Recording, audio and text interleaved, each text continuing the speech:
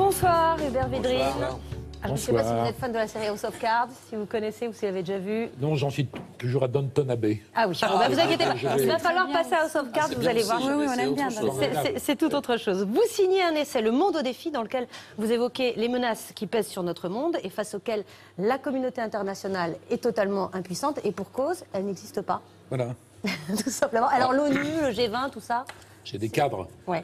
Des lieux de réunion, c'est le nom de la salle. Mm. En fait, c'est Claude Durand qui était mon éditeur depuis longtemps, que j'aimais énormément, immense éditeur, qui il y a deux ans m'avait dit, vous dites tout le temps qu'il n'y a pas encore de communauté internationale, il faut vous expliquer là-dessus. Mm.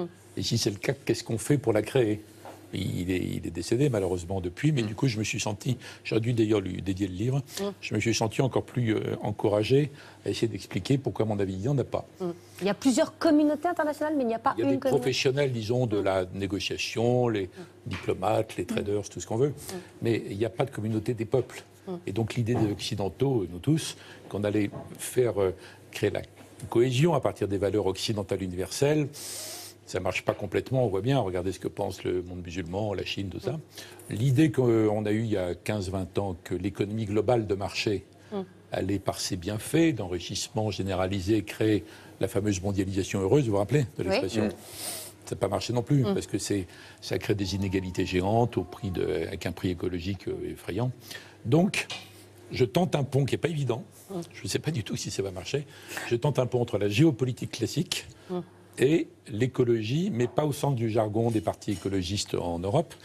La, la vraie écologie, c'est-à-dire le seul lien entre tous les êtres humains, c'est qu'il faut que la Terre reste habitable. On- On va y venir. tentative On va y venir à, l'écologie. à l'écologie, mais parlons des, euh, des défis auxquels, euh, auxquels le monde euh, est confronté. D'abord, vous dites que euh, on a cru à la fin de l'histoire, la fameuse thèse du, du Oui, quand Francis Fukuyama. quand- quand l'Union soviétique a disparu, Oui, les Américains se sont dit, ça y est, c'est fini, tout le monde est d'accord avec nous. voilà. Il n'y a qu'un modèle, Voilà. c'est la démocratie. On va pouvoir l'imposer. Démocratie de marché, enfin le marché et la démocratie. Les deux aller en même temps. disait ça, il disait Mm. démocratie de marché. Sauf que les peuples euh, voulaient vivre à l'occidental, mais pas sous la coupe des occidentaux. Voilà, entre autres. Mm. Puis d'autre part, ils n'ont pas exactement la même définition du marché, ni de la démocratie.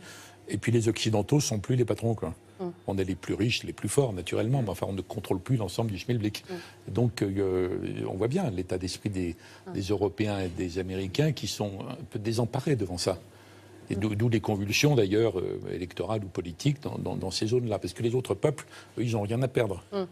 Ils regagnent du terrain. Alors que les Américains. C'est euh, très, dé- c'est très déstabilisant à partir de, ces, de cette naïveté quoi, de l'époque, il y a 25 ans à peu près. Les Américains, eux, ils ont un leadership euh, à perdre. Du coup, ils le réaffirment régulièrement. On va entendre encore Barack Obama il y a deux mois.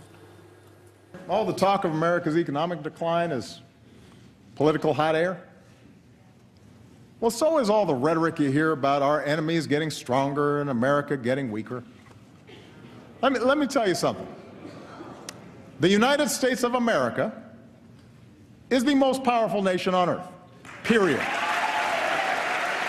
Period. It's not even close. Première puissance, mais incapable de gouverner seul le monde. C'est pas faux. Mais ce n'est plus ce que j'avais appelé moi l'hyperpuissance dans la décennie 90, parce que sinon, il y a belle lurette qu'il aurait réglé des tas de problèmes dans plein d'endroits. D'abord, il aurait, il aurait réglé la question du Proche-Orient, c'est sa position. Il y aurait un État palestinien sécurisé à côté d'un Israël sécurisé. Euh, Poutine aurait été moins, moins provoquant. Justement. Et- etc. etc. Donc, c'est. On est les plus puissants et les plus riches, mais on ne contrôle plus, on n'a plus le monopole. C'est ça la différence qui, dans la tête des Occidentaux, est pas- on n'a plus le monopole de la puissance. Et on pensait être débarrassé des Russes. Les Russes sont revenus. Vous parlez de Vladimir Poutine. Vous êtes, à- enfin, pas élogieux, mais euh, vous expliquez qu'il faut passer par lui, que ça aurait pu être bien pire, que les Russes ont perdu énormément de pouvoir d'achat et qu'on aurait pu avoir euh, un ultranationaliste. euh, Oui. Beaucoup. Et de- c'est pas un éloge de Poutine, ça, c'est simplement une C'est la défense de, de- de Poutine en tant que modéré. Non, c'est pas ça non plus. C'est que simplement, les, si on est purement parisien, on ne comprend pas qu'il ait 80% de popularité. C'est incompréhensible. Si on se met dans la tête des Russes et qu'ils comparent à ce qu'ils ont connu autrefois et ce qu'ils ont vécu il y a 10-15 ans, on comprend mieux. Ça ne veut pas dire qu'on explique. Ça ne veut pas dire qu'on est d'accord avec tout. C'est évident qu'il faudrait être plus clair et plus ferme et plus dissuasif par rapport à lui. Mais que globalement, les Américains et les Européens ont été quand même maladroits. Dans cette période, depuis la fin de, de l'Union soviétique, on les a traités comme quantité négligeable. Alors quand Poutine fait un retour avec tous ses excès en disant on n'est pas un paillasson, il faut compter avec nous, Tout le monde pousse des cris d'orfraie, mais vous voyez bien que les Américains qui tentent quand même de trouver une solution en Syrie, ils le font avec les Russes. Et c'est Poutine qui a la main. Donc c'est pas une défense de Poutine, c'est simplement là. C'est mon fil conducteur, la- les faits sont têtus. hein. Donc la réalité revient en force et il faut qu'on qu'on s'y adapte. Et on a besoin de lui pour lutter contre euh, l'État islamique, qui est notre pire ennemi aujourd'hui? Oui, enfin, disons, c'est le pire ennemi de- des musulmans pour commencer, parce qu'il est, c'est notamment chez les musulmans qui font le plus de morts, et pour l'ensemble, il y, a, il y a des dizaines de pays musulmans quand même euh, dans le monde, donc c'est terrifiant pour eux. Nous, on est des cibles ou des victimes euh, meurtries mais collatérales. On n'est pas le cœur de l'affaire. Bon, donc là aussi, encore une fois, il faut être réaliste, il ne faut pas être chimérique si on veut défendre nos intérêts, nos valeurs. Obama a raison, mais on n'est pas les seuls dans le jeu.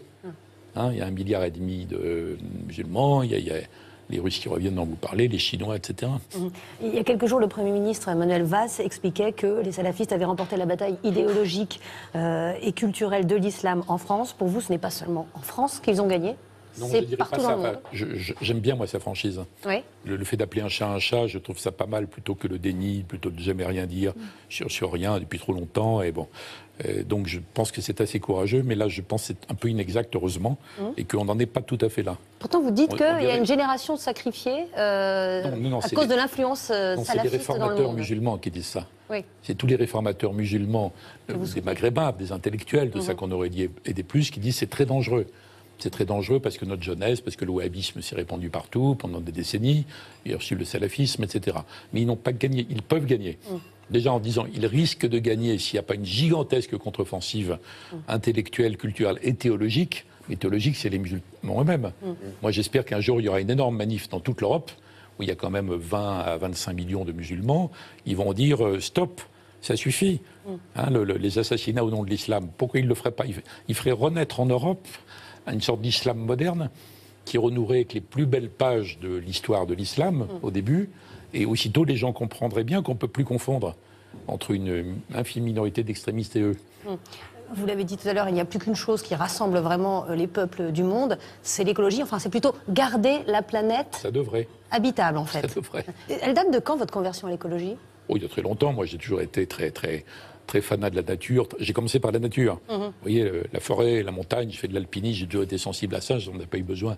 Je suis pas un, un Parisien stricto sensu de l'intérieur du boulevard périphérique, vous voyez, qui s'emballe comme sur le périphérique. vous êtes un écologiste convaincu, mais par contre, vous détestez les écologistes d'Europe Écologie Les Verts qui ont pour Non, vous. je sont cite des- jamais ce nom. Non, mais on a bien compris de qui vous parliez. Non, mais je ont parle pas que de la. France. Je parle pas de la France. En général Je pense que les écologistes politiques en général ont raté leur coup.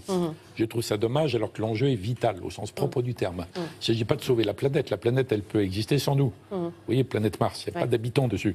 Bon. Donc il ne s'agit pas de sauver la Terre. Il s'agit de faire en sorte que la Terre reste habitable. Donc j'essaie de faire un pont justement entre la géopolitique sur laquelle vous m'interrogiez et le fait que notre seul intérêt commun avec euh, un paysan chinois, un ingénieur péruvien, etc., etc., c'est le fait que ça reste habitable. Donc climat, biodiversité, pollution, nuisance, etc. etc. Alors justement, ce qui fait date pour vous, c'est un rendez-vous qui n'a pas les partis été. écologistes auraient dû euh, réussir ça. De ça. Ils devraient avoir euh, 60% des gens derrière eux. Ils ont trois ou quatre. Oui, c'est sûr que c'est pas. Il y a un Ils bug. Ils ont gagné une bataille d'idées quand même. Ils ont fait. euh, Non, parce que c'est pas venu par eux, à sur mon leur avis. position un certain vous estimez que c'est pas leur, idée, en fait. pas, c'est pas venu par eux, c'est venu par des tas de gens comme euh, Paul-Émile Victor, euh, Haroun Tazieff. euh, Oui, vous citez des- tous ces, j'en- euh, cite des dizaines comme ça qui ont, hors parti. qui, qui- qui ont éveillé l'intérêt. Puis il y a toutes les discussions après sur le, le climat, etc. C'est pas tellement les, c'est pas tellement les gauchistes qui ont essayé de, de se recycler en écologistes qui ont fait bouger l'opinion. Au contraire. Alors justement, ce qui fait date pour vous, c'est un rendez-vous qui n'a pas été manqué euh, entre les pays du monde entier et la planète, c'est la COP 21. Regardez. L'une d'entre nous rappelait l'autre jour la phrase justement célèbre de Nelson Mandela. Je cite Cela semble toujours impossible jusqu'à ce que cela soit fait. Je veux y ajouter ces d'autres mots. Aucun d'entre nous, en agissant seul, ne peut atteindre le succès. Le monde retient son souffle et il compte sur nous tous. Est-ce qu'il mérite le prix Nobel, Laurent Fabius? Oh, peut-être mieux, parce que le prix Nobel est souvent donné de façon euh, complètement étrange. hein. Qu'est-ce qu'il y a de mieux Ah oui. Allez. Non, mais reprenez la liste des titulaires du prix. Nobel. Vous pensez à qui? Prix Nobel de la paix, il n'y a pas le Nobel de l'écologie, ça n'existe pas. Ah. Il faut inventer une catégorie spéciale. Bon, en tout cas, Laurent Fabius a fait un travail magnifique de mobilisation qui n'aurait pas abouti si les Chinois et les Américains, en tout cas Obama, n'avaient pas décidé de s'engager à fond. Mais à partir de là, il a fait une mobilisation magnifique, gouvernement, société civile, etc. Maintenant, il faut aller au-delà, il faut que chaque pays avance, et il faut savoir qu'il ne s'agit pas que du climat. Oui, il y a la, question de, la biodiversité. biodiversi- de l'effondrement de la biodiversité inquiète beaucoup plus les scientifiques que l'affaire du climat. en Et les réalité. pesticides aussi, la lutte contre les pesticides, pesticides. nuisances, etc. Et alors, choses. moi, je pense que ça paraît insoluble, c'est frontalement opposé, sauf si on se met en tête qu'on va écologiser, écologisation, comme on en a parlé, d'industrialisation. Ça montre que c'est un mouvement, un processus, 10, 20, 30, 40 ans. Et quand on regarde ce qui se passe en matière d'agriculture, d'industrie, de transport, de construction, on voit qu'il y a des progrès absolument tout le temps. Donc ça sera fois ça, des percées scientifiques, des changements de mentalité, des accompagnements au public, la société, etc. etc. Surtout pas la décroissance. Non, non, c'est le compte. Non, la décroissance au sens strict, ça fait la révolution mondiale et, et tous les gens qui veulent se développer rendent compte, naturellement. Mais par contre, le changement de contenu, le changement du mode de calcul, de la croissance. le, le mode de calcul du PIB n'est pas bon parce qu'il ne fait pas apparaître justement l'effondrement préservation. patrimonial. Mais alors, je crois qu'on est engagé dans ce mouvement. Il faut surtout pas s'arrêter au succès euh, mérité 21. de la, la COP, l'élargir, le début. continuer. Mais c'est pas nous Français qui allons harceler le monde entier. hein. C'est une dynamique interne. Pourquoi les Chinois ont annoncé qu'ils allaient fermer des, des milliers, 3000 je crois, centrales à charbon?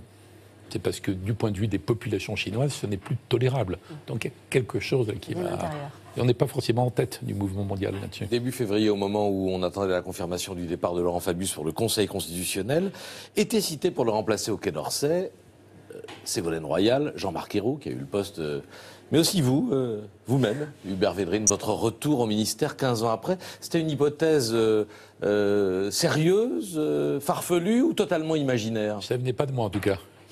Ça venait pas de moi, mais euh, périodiquement, euh, du Quai d'Orsay, Pierre Lescure doit savoir ces choses-là. Et selon les perspectives gauche ou droite, il y a des noms qui reviennent sans arrêt comme ça. Donc Alain pas totalement farfelu. Alain Juppé, il est sur une autre trajectoire, Oui. ou le mien. Bon, c'est sympathique, c'est les gens du, Vous êtes les deux. c'est les gens du quai qui font circuler ce bruit. Mais ça n'a jamais été mon, ni, na- ni ma demande, ni mon projet, ni rien. Donc pas totalement farfelu et hypothèse plutôt flatteuse. Non, mais hypothèse vous infondée. mais infondée. Plaisante, mais totalement infondée. On, on- on J'ai pris un goût énorme à la liberté, vous savez. J'ai passé 19 ans Oui, dans le cœur du vrai pouvoir dans ce pays. oui. Donc j'ai aucune demande de ce type. Et aujourd'hui, vous travaillez à une sorte de rapprochement entre personnalités de droite et de gauche pour euh, l'après, pour le, le quinquennat prochain. non, non, non, non, euh, non, non, non, non. C'est présenté de façon euh, exagérée. Il se trouve que j'ai fait un livre avant celui-là, qui s'appelait La France au défi, ne pas confondre. Et qui était fondé sur la question pourquoi la France est le seul pays développé au monde qui n'arrive pas à se réformer? C'est parce que chaque camp est prisonnier de ses propres extrêmes, en fait.